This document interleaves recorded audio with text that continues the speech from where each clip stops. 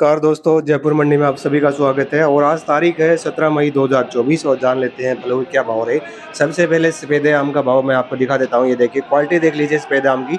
और भाव रहे हैं आज पैंतालीस रुपये से लेके पचपन रुपये के बीच में बिका है। बढ़िया से बढ़िया माल की देख सकते हो, अड़तालीस दाना है। और जो बढ़िया से बढ़िया क्वालिटी है, बावन पचपन रुपये की बिक्री है ये वाली क्वालिटी और ये वाला पचपन रुपये बिक रहा है। अच्छी क्वालिटी के अंदर कलर देख सकते हो आप, बढ़िया क्वालिटी है। एक नंबर साइज़ है और पचपन रुपये टॉप से टॉप क्वालिटी बिकी है इसके अंदर। और जो हल्का माल है, पैंतीस रुपये चालीस रुपये के आसपास बिका है। और ये सारी क्वालिटी जो है, पैंतालीस से लेके पचपन रुपये के बीच वाली क्वालिटी है सारी।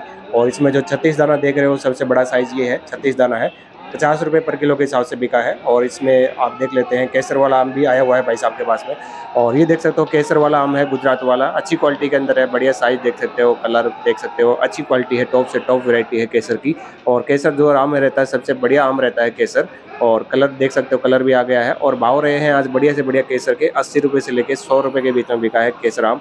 ये देख सकते हो कलर बहुत ही बढ़िया आ गया है इसके पास में। और अच्छी क्वालिटी 80 से 100 रुपए के बीच में बिकी है और हल्की क्वालिटी जो है पचास रुपये साठ रुपये के आसपास भी बिकी है। और कैरेटे आप देख सकते हो, कैरेट का वज़न लगभग 10 से 12 किलो के आसपास की कैरेट है, छोटी कैरेट है ये। और क्वालिटी देख सकते हो आप, अच्छी क्वालिटी है सारी सारी और माल बिल्कुल ताज़ा है। और कल तक और भी अच्छे तरीके से तैयार हो जाएगा ये। एक दूसरे कैरेट में माल देख लेते हैं, ये वाला देखिए। ये भी अच्छी क्वालिटी है और बढ़िया साइज़ है, छत्तीस दाना है ये तो बड़े से बड़ा साइज़ है। और पचास रुपये पर किलो के हिसाब से भाव रहा है इस वाले केसर, ये वाला जो बादामी आम है, अच्छी क्वालिटी है। बढ़िया से बढ़िया टॉप वैरायटी है और देख सकते हो करेटे अलग अलग साइज़ के हिसाब से अलग अलग लोट की करेटे खोल के रखी गई है। और ये देख सकते हो करेट के नीचे का माल भी दिखा देता हूँ, ये देखिए। अच्छी क्वालिटी है और नीचे से भी माल देख सकते हो आप करेट के अंदर, बहुत ही बढ़िया क्वालिटी ये देख सकते हो, ये दशहरी आम है, मद्रास वाला आम है और ये देख सकते हो गोल्डन आम भी बोलते हैं इसको। और क्वालिटी देख सकते हो, बहुत ही बढ़िया क्वालिटी है। कलर भी अच्छा आ गया है, देख सकते हैं। कलर देखिए, बहुत ही प्यारा कलर है। और क्रेट के अंदर भी माल देख लीजिए, नया क्रेट जो खोला है उसके अंदर भी। और भाव रहे हैं आज साठ रुपए पर किलो के हिसाब से। मद्रास वाले दशहरी आम के साइज़ बहुत बढ़िया है और कलर बहुत ही बढ़िया आया गया है, देख सकते हो आप। और अच्छी क्वालिटी के अंदर आती है दशहरी आम, ये देख सकते हो। दशहरी आम भी अभी काफ़ी मात्रा में आ रहा है मोना मंडी जयपुर के अंदर। अच्छी से अच्छी क्वालिटी आ रही है और साठ रुपए के आसपास भाव रहे हैं मोना मंडी जयपुर में। और इसी के साथ मैं हापूस आम के भी भाव दिखा देता हूँ। ये देखिए, बारह पीस की पैकिंग है क्वालिटी बहुत ही बढ़िया वाली है। साइज़ आप देख सकते हो 300 ग्राम के आसपास का साइज़ है हापूस आम का। और ये देवगढ़ वाला माल है, अच्छी क्वालिटी के अंदर और भाव रहा है 500 से लेके साढ़े पाँच सौ पर बॉक्स के हिसाब से। बारह पीस का रेट है ये, और कटिंग भी देख सकते हो आप, अच्छी कटिंग के अंदर है, और क्वालिटी बहुत ही बढ़िया वाली है, ताज़ा माल है बिल्कुल, और बॉक्स पैकिंग रहेगी इसके अंदर बारह पीस की, ये देख सकते हो शानदार वेरायटी के अंदर है, और ये अभी पूरी तरह से तैयार नहीं है, एक दो दिन के अंदर पूरी तरह से तैयार हो जाएगा अच्छा कलर आ जाएगा इसके अंदर।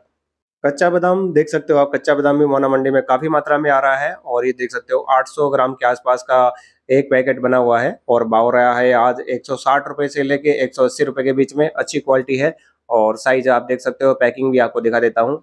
और जो एक बॉक्स है, उसके अंदर इक्कीस पैकेट की पैकिंग आती है? और क्वालिटी बहुत ही बढ़िया वाली है और कच्चा बादाम है ये। और दूसरी भी वैरायटी है, उनके भाव भी मैं दिखा देता हूँ आपको इसमें। आड़ू की क्वालिटी भी आप देख लीजिए। आड़ू के आज के भाव रहे हैं चालीस रुपए से लेके साठ रुपए के बीच में बिका है।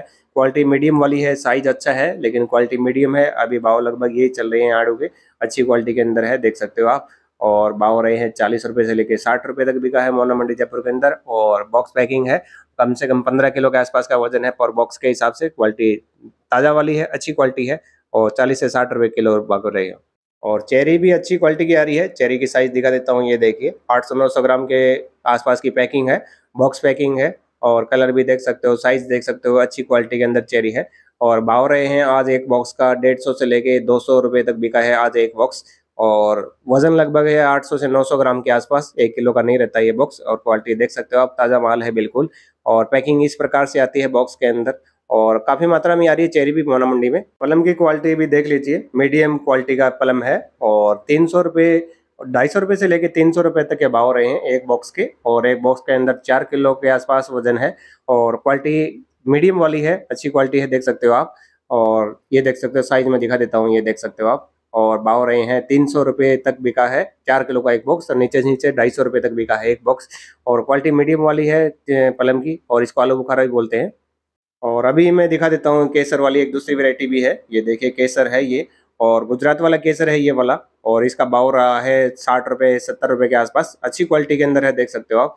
बढ़िया क्वालिटी है साइज़ भी बहुत बढ़िया है कलर भी हल्का हल्का आ गया है और एक दो दिन के अंदर ये अच्छे तरीके से तैयार हो जाएगा, इसमें भी थोड़ा पीलापन आ जाएगा और टेस्ट बहुत ही बढ़िया रहता है केसर आम का और पेटी का वज़न लगभग दस किलो के आसपास है इस वाली का, जैसे कि आप देख रहे हो क्वालिटी बहुत और ये देख सकते हो, पपीता पपीता एक नंबर जो माल बिका है, वो बिका है चौबीस से पच्चीस रुपए पर किलो के हिसाब से और जो दो नंबर माल रहता है, वो बिका है आज बारह रुपए पर किलो के हिसाब से, अच्छी क्वालिटी के अंदर। और ये जो साइज़ देख रहे हो, सारा एक नंबर पपीता है और इसमें दो नंबर पपीता भी मैं दिखाऊँगा आपको।